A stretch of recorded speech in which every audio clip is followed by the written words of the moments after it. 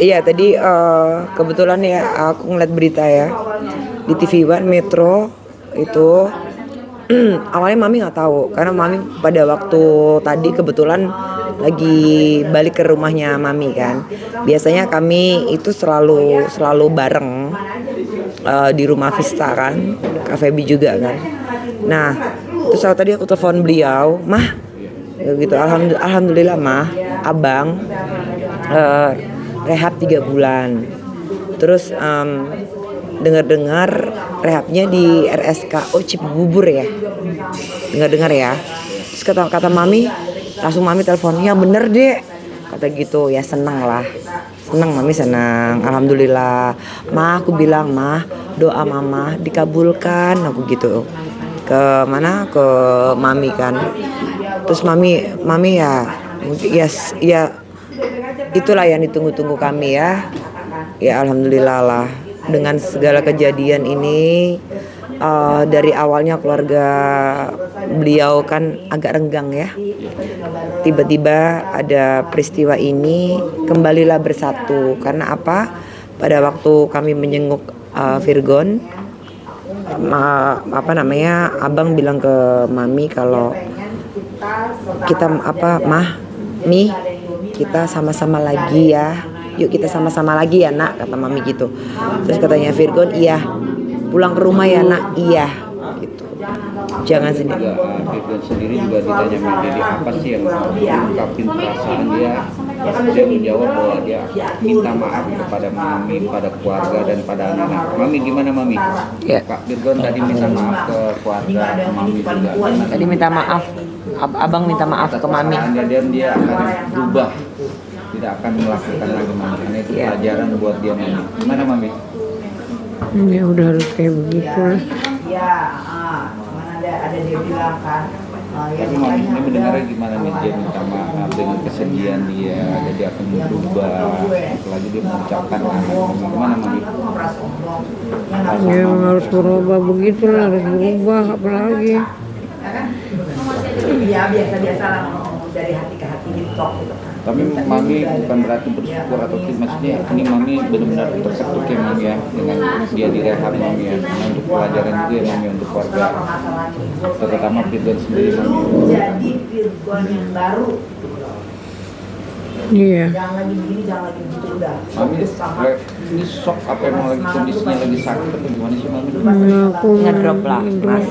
karena memang dari awal abang ketangkap ya. Abang kena itu mami itu tidur ya tidur tidur tidur ayam. Nggak nggak nggak apa namanya nggak bisa ya namanya anak ya namanya ibu lah. Itu pasti ya hancur hatinya dan shock lah takut kalau gimana gimana takut kalau gimana gimana. Jadi kita wirawiri wirawiri dari apa Polres dari apa dikabulkan Mana?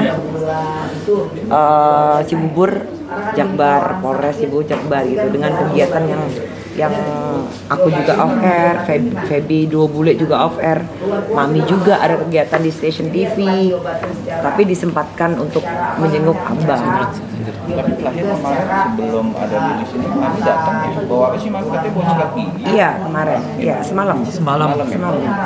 Tapi sempat ketemu nggak? Enggak. Sendiri. Iya, enggak. Karena udah jam juga kan karena udah jam besuknya udah habis. udah habis.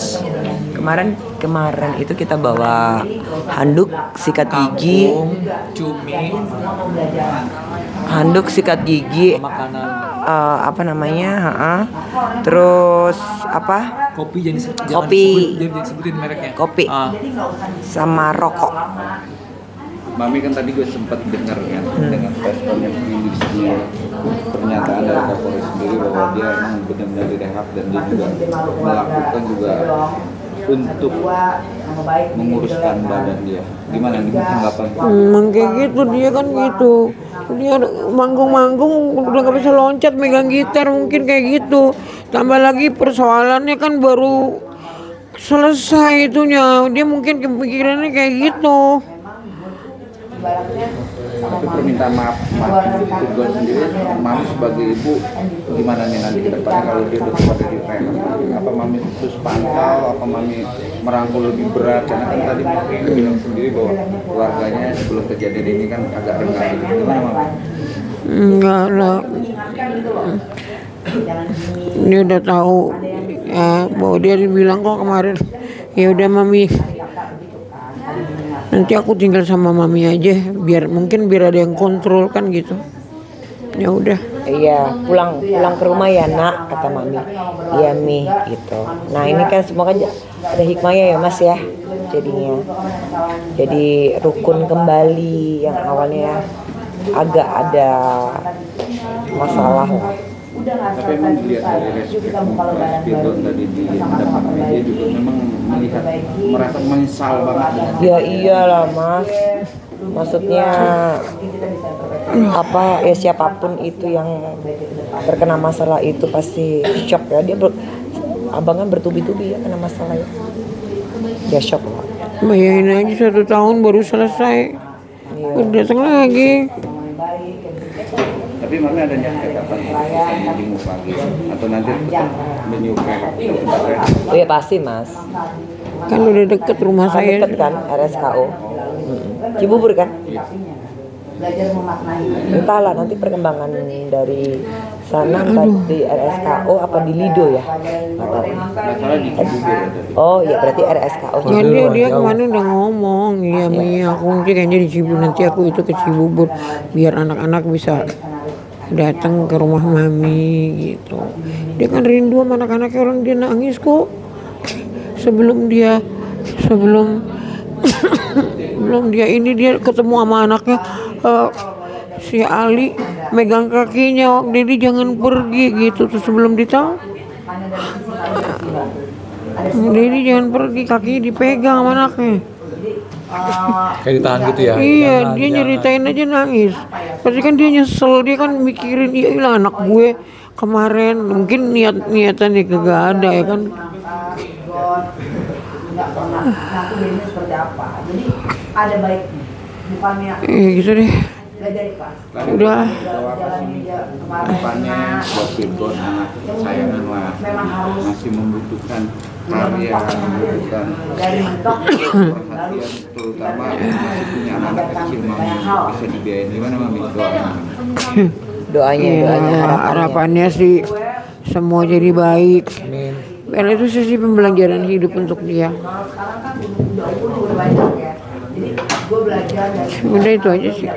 Untuk apa pun Bang yang terjadi dan baik dan buruk Paling kalau untuk aku buat Bang Virgon, eh, jadilah Bang Virgon yang baru, tumbuh dan lebih besar lagi namanya seperti dulu, lebih baik lagi lah pokoknya. Itu sih harapan aku. sejak kejadian perasaan saya saya lihat waktu semalam tuh Baru semalam doang. Semalam betul. Karena pas hari kejadian itu aku lagi di Palembang, lagi ada premier fi- film aku kan di Palembang. Tengah malam itu Kak Vista nelfon aku sama Mami kan. Nah pas aku angkat katanya eh, abang katanya ketangkep gitu. Ya akhirnya aku pas eh, hari hanya itu besoknya aku langsung pesen eh, pesawat pulang ke Jakarta nemenin Mami. Karena dengan kabar kan katanya Mami sampai pingsan kan. Ya makanya aku dengan datang ke sini mencoba menghibur Mami biar Mami nggak kepikiran buat ya jalan-jalan kemarin habis CFD kan biar pikirannya itu nggak ke sana kembali gitu sih Mem- membuat hal positif lah ya jadi kegiatan Adanya Egi mungkin eh, ter ini ya ter apa ter entah terobati entah apa lah Iya. ya. Gitu kan. Pokoknya di sini aku mau tahu ya di sini aku membantu mami biar mami itu pikirannya nggak nggak kosong gitu loh. Menjadi kegiatan yang positif lah. Benar. Karena kan memang shock banget ya uh, mas. Pada waktu hari pertama penangkapan itu adik kepada uh, yang tahu itu juga duluan gue dengan segala kendaraan itu Kapista sendiri. Kapista mengenal seorang keluarganya Eva Manurung Iya. kalian hari-hari ini selalu dekat masuk dekat dalam melihat keluarganya atau melihat memang udah sebagai gimana? iya kebetulan gini. Lah mamanya nih nitipin ke saya mamanya. jadi mama mama Vista nitipin ke mami ke mami. memang sudah keluarga sama keluarga memang sudah dekat. terus em, Feby sudah sudah aku anggap memang kakak meskipun kadang ya berantem berantem kan kita satu rumah. Nah, mami pun juga gitu kalau udah apa namanya kami berdua berantem atau apa, udah nak, udah nak, udah nak, udah begitu. Dan kebetulan juga pula dua bule kan proyeknya bareng terus gitu. Jadi ya mau nggak mau mas, bukannya kami itu mau bagi aku tuh mau bagaimana atau bagaimana. Ini ibu saya juga gitu. Kalau nggak saya dampingin, mau siapa lagi? Gitu loh. Ke mana-mana juga nggak bisa lepas dari tangan tangan kita. Kak Feby pun juga apa namanya mami pun juga gitu loh. Jadi ya ke mana-mana ya yang fat ya yang fat memang ya Kak Feby sama Kak sih memang mami ya. beliau sudah apa namanya berumur ya bisa dibilang ya. dia cuma bisa gimana sih geter gimana? jadi kalau kalau kalau ke Polres kalau udah udah turun dari mobil udah geter udah. kalau mungkin udah kalau aku apa eh, nggak gandeng udah ambruk mami gitu sih mas. jadi terlalu dekat ya memang udah keterlaluan. udah seperti anaknya sendiri emang udah kayak seperti anak angkat jadi lagi. Tapi nanti kalau selesai rehab, emang mau udah satu lagi dan kontrol tetap di alasannya mami dia ya. Saksikan terus Rasis Infotainment. Dan untuk mendapatkan berita terupdate, like, comment, share. Dan jangan lupa nyalakan tombol loncengnya. Tetap Drasis, rumor artis dan selebritis. Bukan gosip, tapi fakta. Untuk mendapatkan berita terupdate, jangan lupa tekan tombol subscribe, like, comment, and share. Dan jangan lupa juga tekan tombol loncengnya. Saksikan terus Rasis, more artis dan selebritis, bukan gosip tapi fakta.